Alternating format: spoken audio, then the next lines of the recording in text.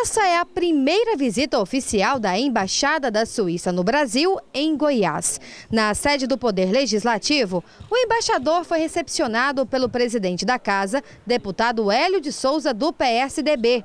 Por quase uma hora de intensa conversa sobre o atual cenário político e econômico do Brasil, as potencialidades do nosso Estado foram colocadas como prioridade no encontro.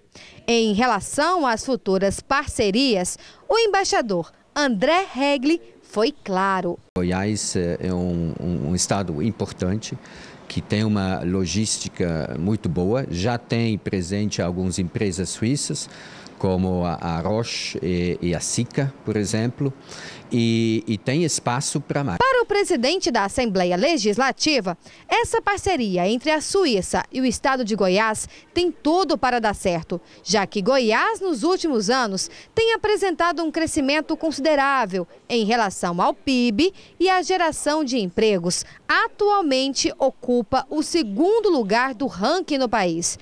Dessa maneira, o cenário goiano se apresenta atrativo para investimentos. Nada melhor do que quem está aqui representando um país tão importante como a Suíça, que é o seu embaixador, para fazer uma leitura de que ele poderá é, convidar, em nome do povo brasileiro, a empresa para vir cá se instalar.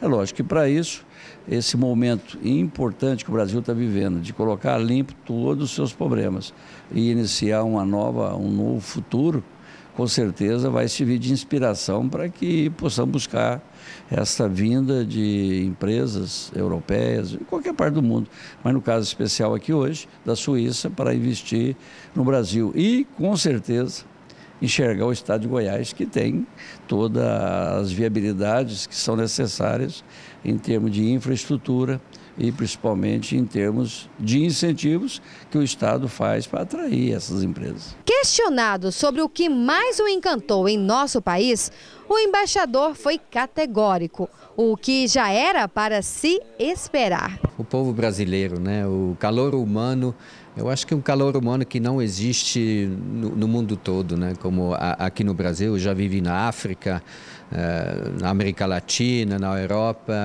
Uh, o, o, calor humano como o povo brasileiro tem uh, não existe. Eu acho que isso também atrai os investidores e, finalmente, o objetivo nosso foi de, de colocar no radar né, Goiás uh, uh, para os investidores suíços e também para as empresas uh, brasileiras que querem investir na Europa, né? que querem talvez internacionalizar-se, que já têm um know-how e que, que gostaria de descobrir outros mercados e por isso a Suíça é uma plataforma maravilhosa para entrar no mercado europeu.